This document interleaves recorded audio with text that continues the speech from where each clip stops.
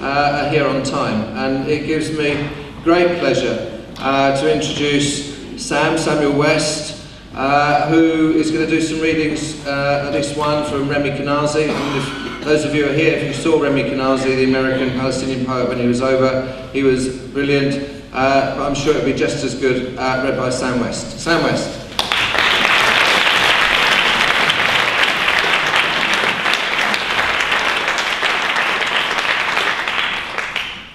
Hello, I'm going to read you a poem by Remi Kanazi and then a short extract from a letter from Gaza. A poem for Gaza by Remi Kanazi, December the 29th, 2008. I never knew death until I saw the bombing of a refugee camp. Craters filled with disfigured ankles and splattered torsos but no sign of a face, the only impression a fading screen. I never understood pain until a seven-year-old girl clutched my hand, stared up at me with soft brown eyes, waiting for answers. But I didn't have any. I had muted breath and dry pens in my back pocket that couldn't fill pages of understanding or resolution.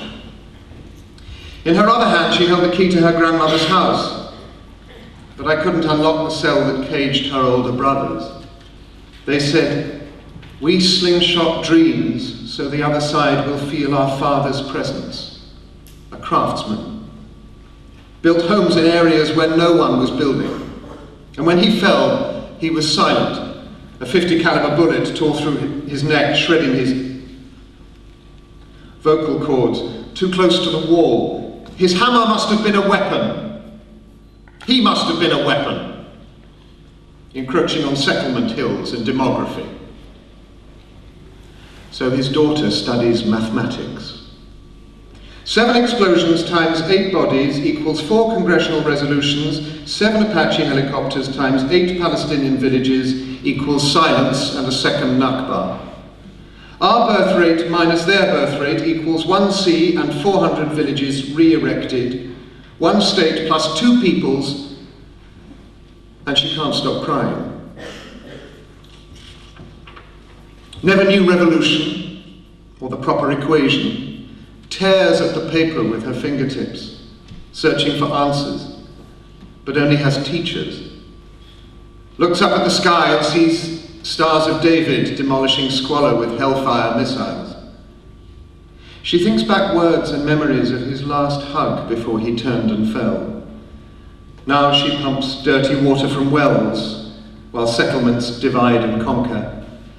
And her father's killer sit, sits beachfront with European vernacular. She thinks back words while they think backwards of obscene notions and indigenous confusion. This, our land, she said. She's seven years old. This, our land, she said. And she doesn't need a history book or a schoolroom teacher. She has these walls, this sky, this refugee camp. She doesn't know the proper equation, but she sees my dry pens, no longer waiting for answers, just holding her grandmother's key, searching for ink.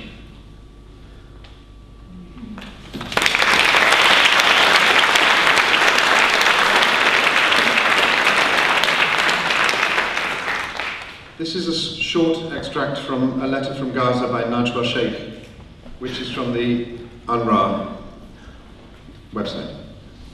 January 2009. Today, I saw the tears shed by the mothers who had lost the safe shelter of home. They are now unable to give more to their children, as if drained from any feelings, from any love, any security.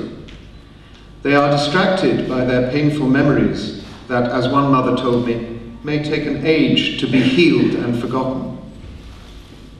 The ch children's simple wishes of finding their toys, their books, their favourite things were very hard for me to listen to. Their innocent eyes and their shaky hands when recalling horrific events make it difficult to believe in peace. A question is left there in their small heads and tiny hearts. What is the point in teaching us human rights while we cannot experience any of these rights? Why am I, as a child, unable to live in a safe house? Why am I not treated as a human being while many others who are no different from me in other places of the world practice these rights? While the Israelis seek a better life for their children, at the same time they destroy our simple homes, our lives, our dreams, leaving us nothing but a toll of painful memories and of bitterness. This will remain, consuming us from the inside, until finally it takes its revenge.